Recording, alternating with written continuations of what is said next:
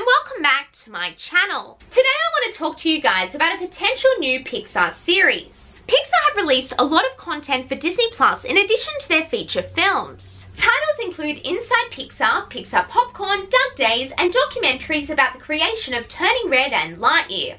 Additionally, Cars on the Road and Win or Lose will be released in the future.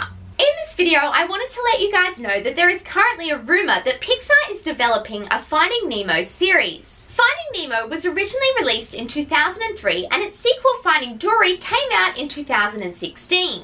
It is one of Pixar's most beloved films and rightfully so because it is amazing. The source of this rumour is the DisInsider show where they stated the following. Thanks to uh, things like Cars on the Road, Dug Days, uh, Pixar is diving into the world of series, which is awesome. We we love uh, series.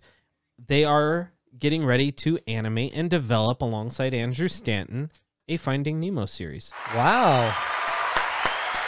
for Disney. Yay, Plus. Finding Nemo. Good stuff, dude. I love those films. Nice. Yeah. I didn't like Finding Dory, but Yeah. it's still it's cute. Kids like cute Yeah. movies, and I think it's perfect for a series. I love this idea and I think it could be really successful. I also would like to put forward the idea of Pixar doing a Ratatouille or Brave series, as I think these could be highly entertaining.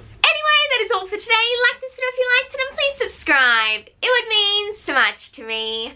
Bye now and have a magical day.